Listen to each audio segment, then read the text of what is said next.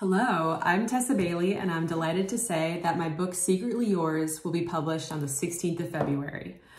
Secretly Yours is a romantic comedy with spice. It is a uptight professor and his hippie gardener who is writing him secret admirer letters. So it's a lot of fun and it's available for pre-order now at easons.com. Thank you.